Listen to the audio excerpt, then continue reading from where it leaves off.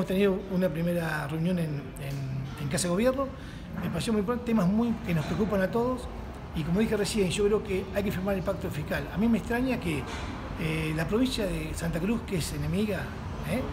del gobierno nacional, lo haya firmado y nosotros todavía estemos ahí en expectativa. Me parece que los señores legisladores del Frente para la Victoria se saquen por, primera vez la camiseta del partido y piensen en la gente. Hoy al municipio de Corcovado este mes no le entraron 60 mil pesos del fondo sojero.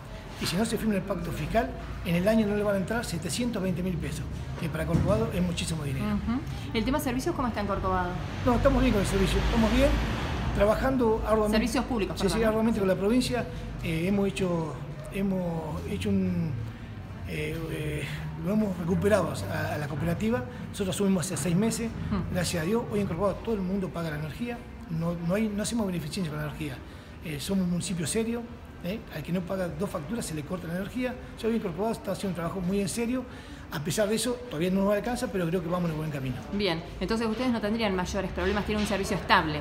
Tenemos un servicio estable, siempre por supuesto con la ayuda de, la ley 1098, que es esa ley provincial, que ayuda a, las cooperativas. ¿Y necesitan inversiones para extender? Porque Corcovado está creciendo mucho, ¿no? Está creciendo, está creciendo, pero bueno, todas medidas que creo que de a poquito nos vamos acomodando. Nosotros hace seis meses que agarramos una cooperativa totalmente fundida y hoy te puedo decir que estamos estables. Y cuando usted dice agarramos una cooperativa fundida, ¿el municipio se hizo cargo o la recuperaron con, metiéndose en la administración, por decirlo de alguna manera? Eh, eh, quien te habla, una lista. Sí.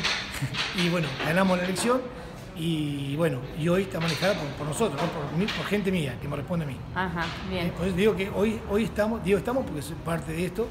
Eh, como sabés, el municipio que concesiona la energía a la cooperativa, así que bueno, soy parte de esto y por ser parte ando atrás de eso, no me gusta dejar nada librado al azar. O sea que ustedes tienen control directo sobre la cooperativa. Tenemos control directo sobre la cooperativa, sí, porque trabajo codo a codo con, con el presidente y los secretarios.